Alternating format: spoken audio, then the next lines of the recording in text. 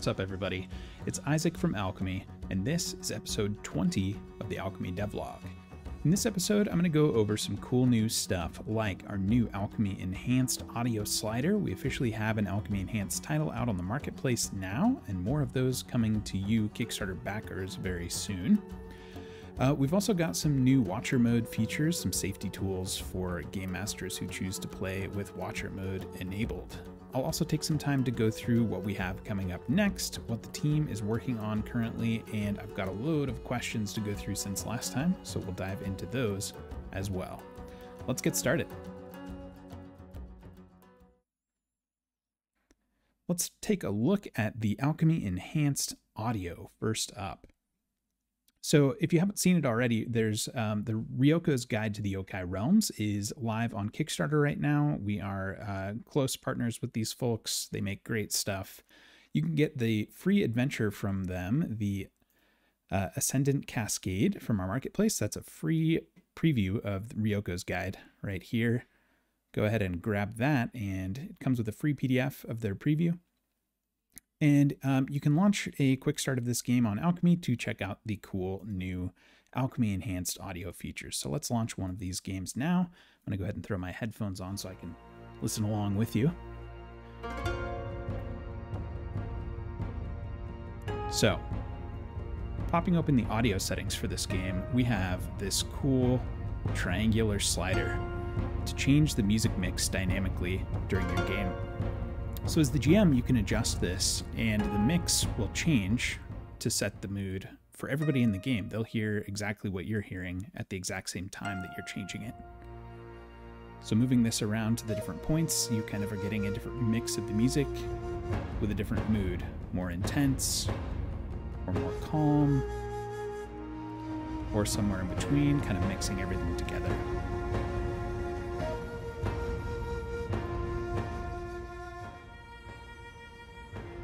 And players, of course, will still be able to adjust the volume level on their end. They'll see a slider uh, for the music level, and if there's an ambient sound bed, they can control that volume level independently as well. So this will be kind of a hallmark of any Alchemy Enhanced title. We've talked about that a lot in the Kickstarter. Alchemy Enhanced this, Alchemy Enhanced that. Here's one of the main ways that Alchemy Enhanced games will differ is this dynamic audio slider. So, like I said, this is a free adventure on the marketplace. Go ahead and grab it and try this out. We have more titles coming to you soon. If you're a Kickstarter backer, we have Mörkborg Enhanced and Pirate Borg Enhanced, and a bunch of other great stuff coming your way with these sorts of features, um, as well as all the motion assets that we're developing for Alchemy Enhanced titles in particular. So go ahead and grab this one, give it a try, and let us know what you think. So, other than that, we've rolled out some new safety features for games that have watchers enabled. So let's take a look at this Pirate Borg game.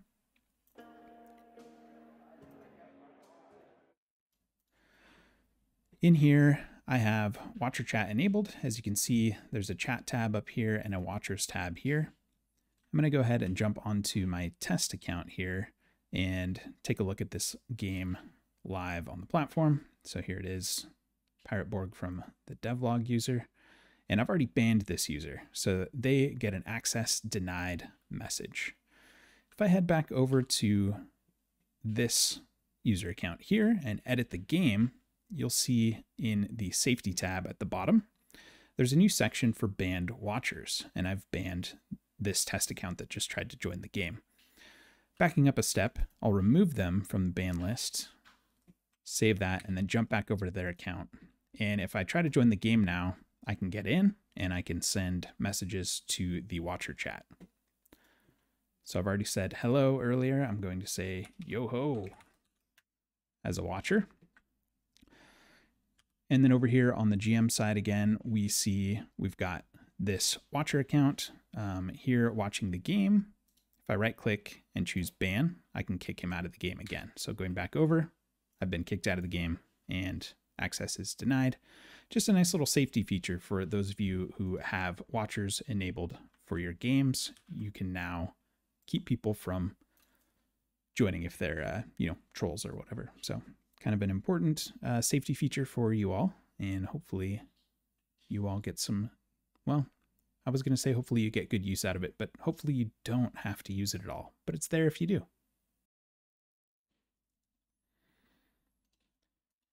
Let's take a look at the roadmap. What is the team working on now? This week's a little bit lighter on things that we've deployed. There's some bug fixes and some other smaller changes, but for the big features, uh, we've got a lot of stuff upcoming and in flight. So one of the biggest things, I don't need my headphones anymore. Let's get rid of these. One of the biggest things is uh, playable NPCs.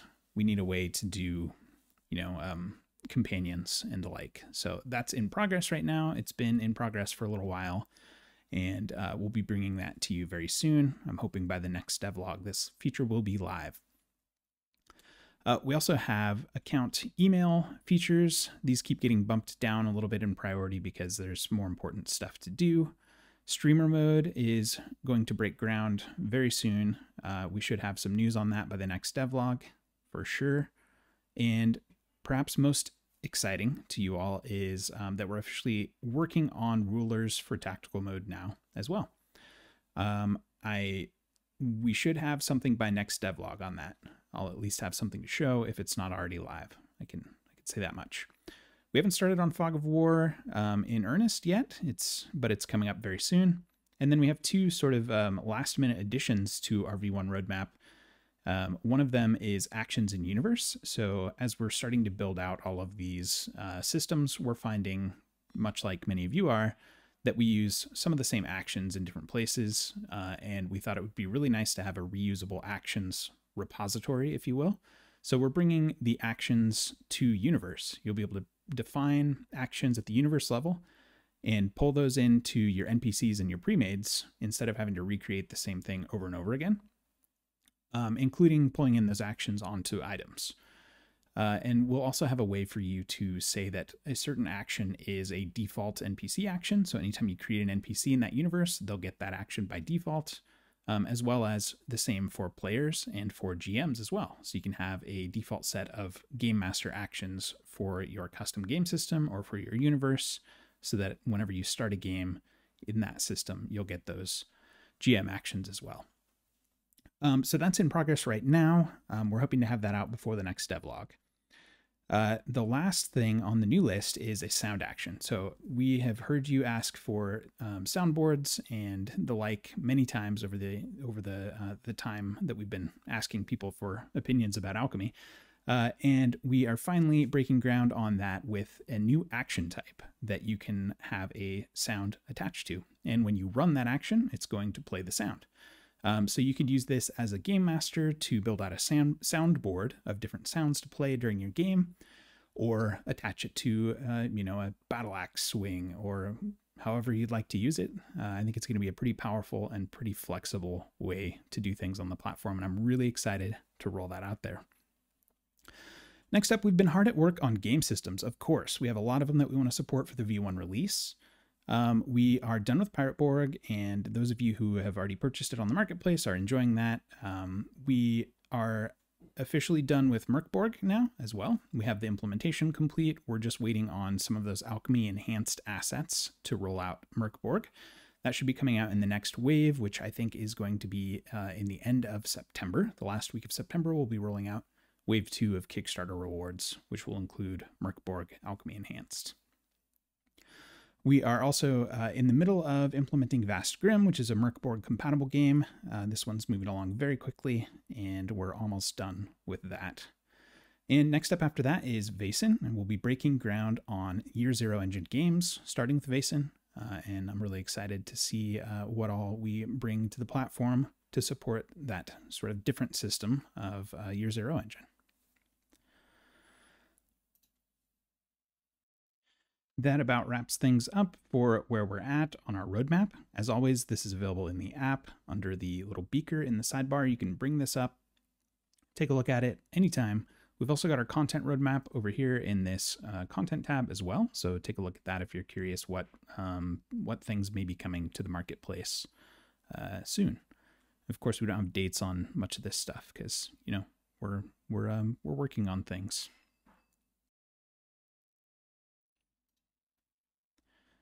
All right, let's take a look at the Q&A that you all have sent in since last time. I'm going to jump into my handy devlogs uh, universe and pull up devlog Q&A for episode 20.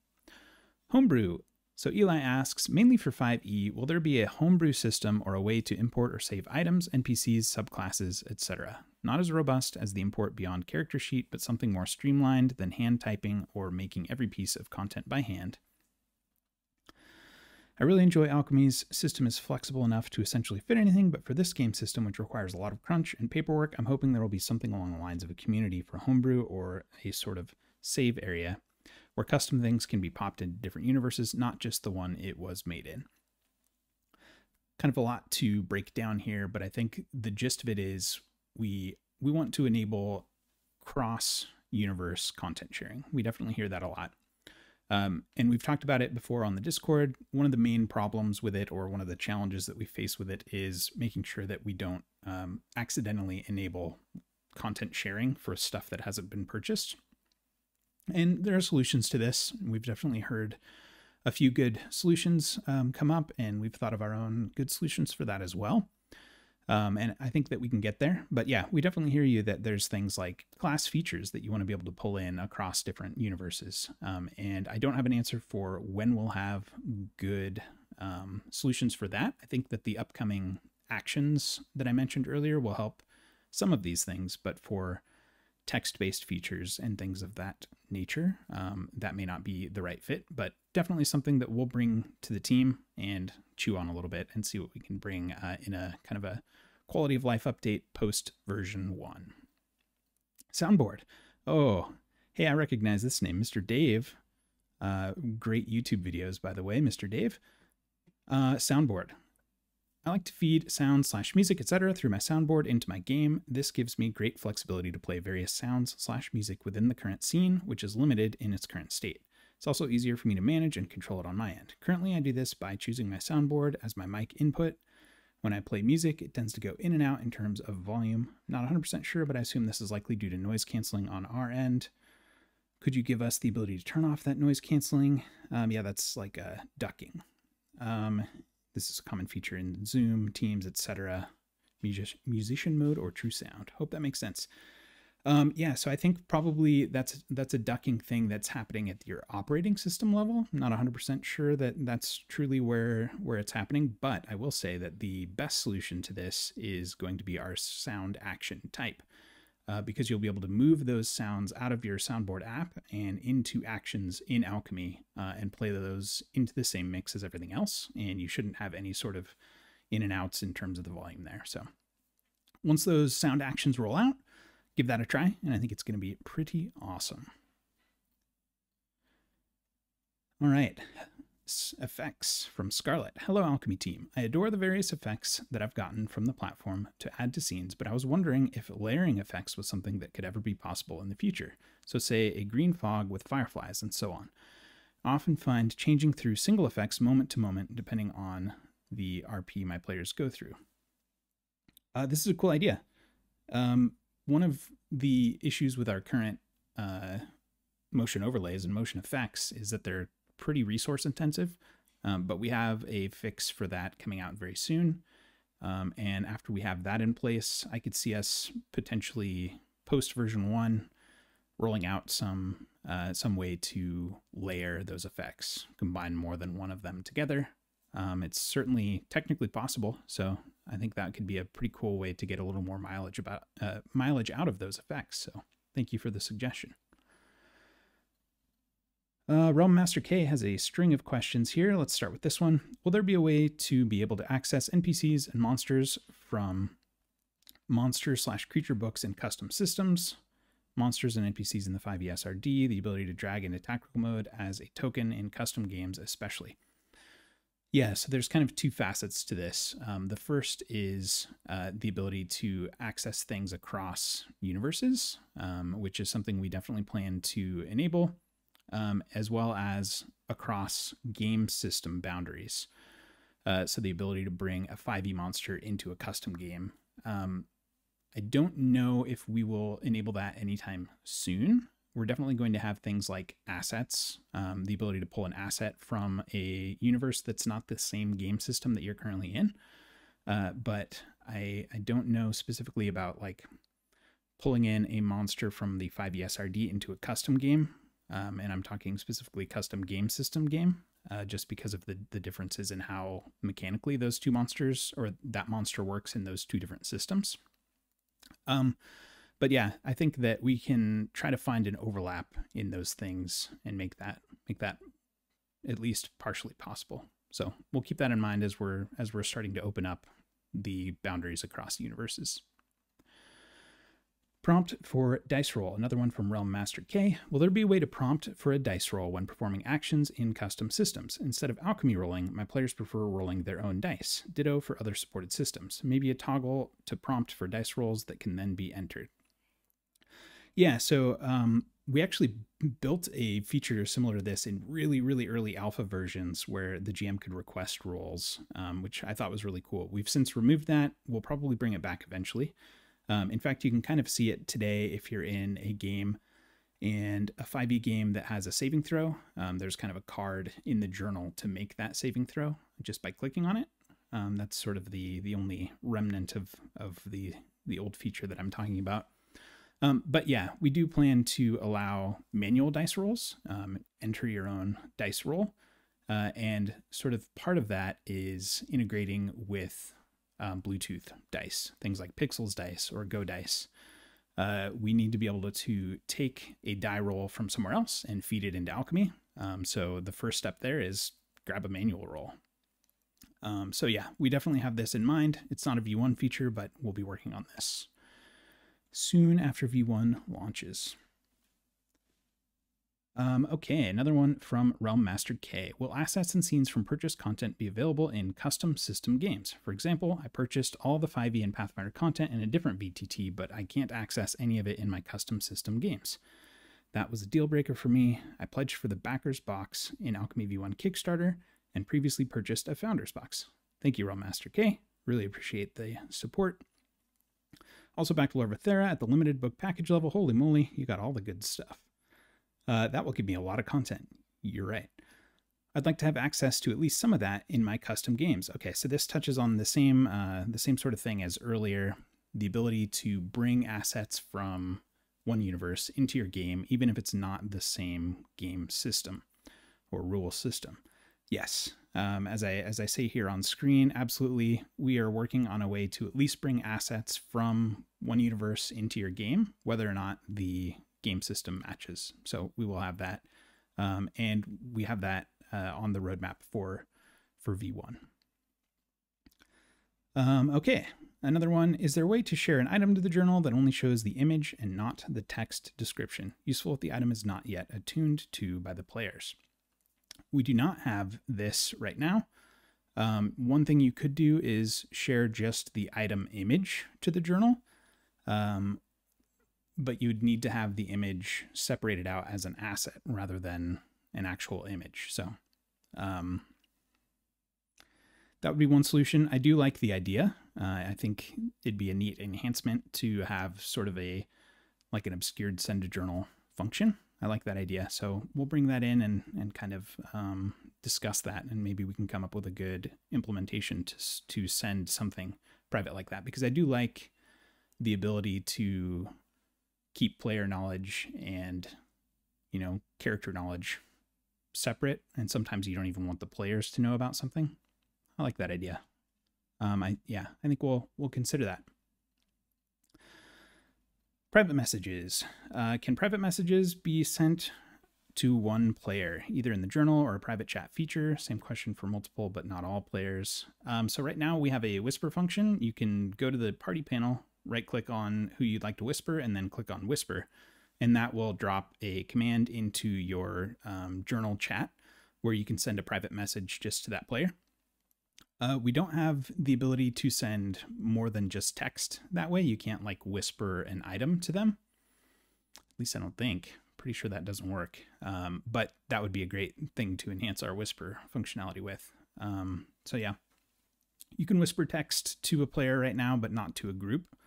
Uh, and I don't believe you can include anything in the Whisper besides just text. Ryoko's Guide Free Adventure. Hey there, started looking at the Ryoko's free adventure, The Ascendant Cascade. We all saw that one here. It is pretty sweet. I love all the articles and was excited to have a test run with my group. When I ran the quick start, I noticed that I wasn't able to access the other articles like the creatures and the introduction, which was important for me to start the session. I only had the first and the second scene. I know there's a search button with the magnifying glass, but I couldn't remember the names of the articles and had to go back to the content universe several times to get, get that information.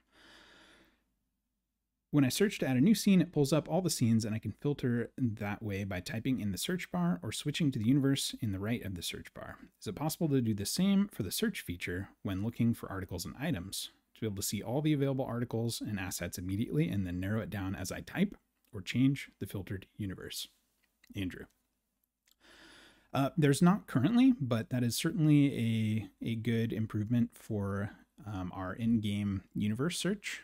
Um, we kind of have that finalized for V1 right now, but we can come back around and improve it for sure. Um, so we'll we'll bring this into the team and consider ways that we can make it easier to discover your um, your connected articles inside of a game without having to search for them by name. Uh, okay, last up, Unsoupable. What a great username. Will there be a way to customize dice faces for custom games? i.e., in the One Ring 2E, which is probably never coming to Alchemy due to IP, as was discussed, the 11 and 12 faces on a d12 are replaced with special symbols to indicate crit, fail, successes, and it would make gameplay much easier if I if it would be possible to add your own vectors or at least letters to replace certain die faces. Um, yeah, so this is likely to happen as we move into new game systems, um, we certainly have uh, a few where it would be helpful to be able to have different faces on the dice. Um, we need to do something there. Uh, I, I don't know for sure if it's going to be included in our systems for V1, but we definitely agree with you that this would be helpful for um, for uh, the One Ring and for other game systems where you have symbols on your dice. So we will be keeping this in mind for sure. The last thing I would note there is when we do bring that to the platform, um, our sort of core philosophy is to never never build tools just for ourselves for building out game systems. We try to give you access to the same tools that we're using when we build things like Mörk um, for the most part, right? We try to build reusable tools and systems that we can then give to you. Like Universe is a great example um, universe was born out of our need to provide a way to get to some of the lore of Ethera, the Lost Druid content, um, in a in kind of a, a, reusable way. We need to organize articles, and so the universe articles was born out of that, uh, and it's kind of evolved into its current state of this great world building tool. Um, that's the same world building tool that we use to build uh, Ryoko's Guide, for example. The the articles and the free adventure that's up there for that. Um, that's all built with uh, just universe tools. So our our philosophy there is to always give those tools to you um, as much as possible to give you the power to do the cool things that we do. So once dice faces are available for us, they will be available for you too. Uh, okay, that wraps up Q&A for this week. Thank you for all the questions, everyone, and keep them coming.